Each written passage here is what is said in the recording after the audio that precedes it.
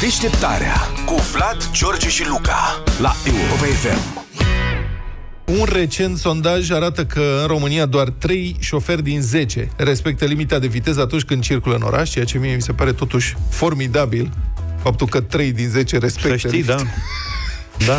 Din aceeași cercetare sociologică rezultă că 4 șoferi din 10 întâlnesc zilnic în trafic șoferi care fac zigzaguri, care croșetează, care fac crețuri în trafic, care schimbă benzile, adică foarte des. Brusc, agresiv, asta înseamnă. Un șofer din patru se mută aproape tot timpul de pe o bandă pe alta, dacă banda pe care se află uh, se circulă mai încet. Așa sunt îi, zilnic îi văd și eu. Un șofer din patru mi se pare mai mult. Deci am avut ieri o domnișoară de trei ori mi-a, mi-a solicitat să intre în fața mea și după aia s-a întors și, a, și am ajuns în același timp la semafor. Exact. Este uluitor. De trei ori. Da. Mi s-a părut genial. Dimineața Da, da. asta era un băiat cu o mașină sport pe DN1, care, mamă, s-a băgat, s-a nu știu ce. Am ajuns la semafor la aerogări împreună. Mă rog, eu am ajuns la 10 secunde după el. El stătea la semafor. Câteodată sunt niște anomalii în traficul de la noi, adică trebuie să fiți de acord și cu asta.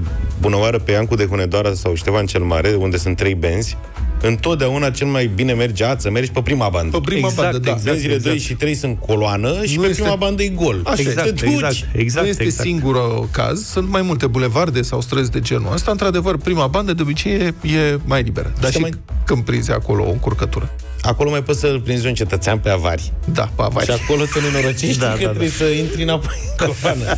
Instructorul de conducere defensivă și pilotul de raliu Alex Filip este la telefon. Bună dimineața, Alex! Salut, Alex! Bună dimineața, bună dimineața. De ce? Că, În primul rând, cât timp există studii, cât timp se câștigă cu zigzagurile astea prin trafic? Și care e riscul? Există studii, nu se câștigă nimic, din păcate doar se pierde, ești doar pe minus, pe plus în niciun caz și o să explic de ce. Da. Dacă mergi între punctul A și punctul B și ai un filtru pe care îl numim semafor, este imposibil că dacă mergi între punctul A și semafor cu 100 la oră și tu mergi legal cu 50 la oră, diferența de timp se diminuează, se diluează complet la statul de la semafor. Exact uh, precum ai dat exemplu mai devreme cu mașina sport de dimineață, Da, Alex, va fi da. la același semafor. Îl un prind- semafor stai ține puțin. cam... Uh, Îl prinzi pe verde și ai trecut și fraierii rămân în spate. Este foarte puțin probabil să se întâmple asta. Poate ai un noroc și se întâmplă la primul semafor, dar la următorul semafor, cu siguranță vei prinde uh, roșu. Este imposibil să mergi pe unde verde să traversezi orașul. Deci nu faci decât să amâni uh, un lucru care este inevitabil și anume că la un moment dat tot trebuie să te oprești undeva.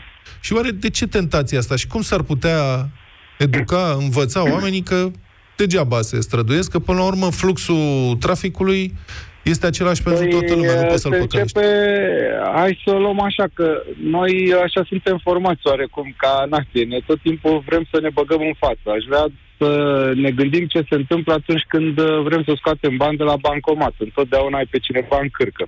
Uh, La uh, casa de marcat de la uh, supermarket, la fel. Stai la coadă și parcă ești împins așa de la spate, ai mai repede, deși n-ai cum să te bagi mai în față. Mhm. Uh, Cred că are legătură cu educația care poate fi făcută și începută din școala de șoferi. Adică dacă instructorul îi explică foarte clar tânărului uh, șofer sau viitorului șofer că uite ce se întâmplă, uite-te la mașina albastră, da? Noi mergem cu 50 la oră, uite-te la mașina albastră, croșetează, se bagă, cum ați spus voi mai devreme, în zigzag, face tot felul de crețulini pe șosea, uite-l unde se află, vezi?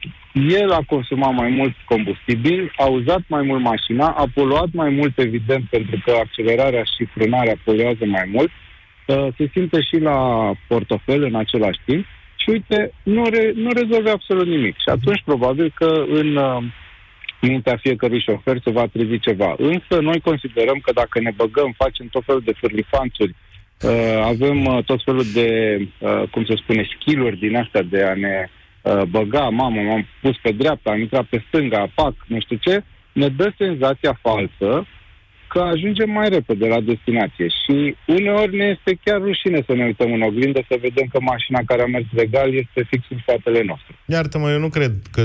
Cred că în cele mai multe rânduri nu se grăbesc oamenii ăștia, cred că pur și simplu au tulburări de comportament, adică nu asta ar fi ce Știi, mână m-ați luptă. invitat, Că pur și simplu știți cum se e, m-ați plictisesc invitat cu la ea voi capul sufragerie, nu pot să zic eu acum tot felul de...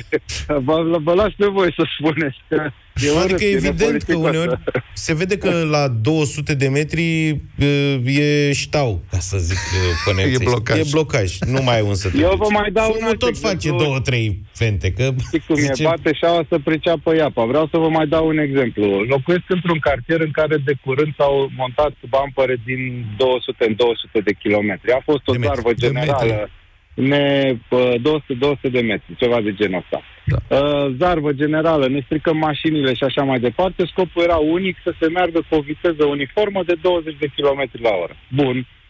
Văd șoferi care trec de bumper cu 5 la oră, accelerează până la 50, pun din nou frână la următorul bumper. Trec cu 5 la oră, din nou același lucru. Dacă faci lucrul ăsta la 20 de bumpere, să zicem cât ai până în capătul cartierului, uh, doar să ne imaginăm cam cât, să- cât consum de energie și câtă poluare absolut inutilă uh, se întâmplă. Pe când uh, așa se întâmplă și în trafic. Hai să luăm aceste bumpere ca și cum ar fi semafoarele.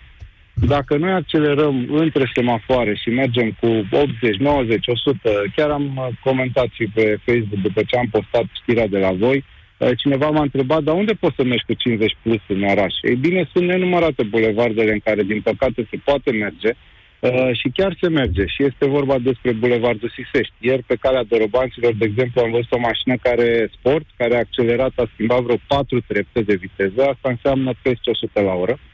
Uh, nu trebuie să fii vreun expert să te prinzi de lucrul ăsta.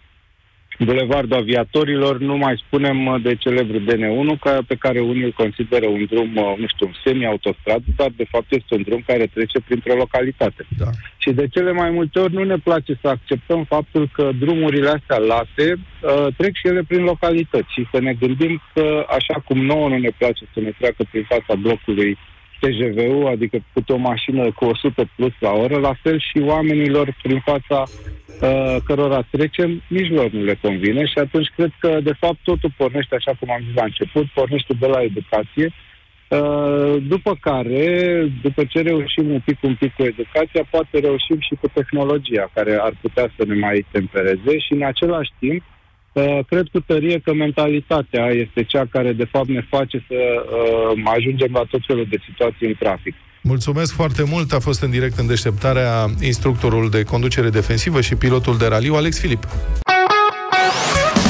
Deșteptarea cu Vlad, George și Luca la Europa FM.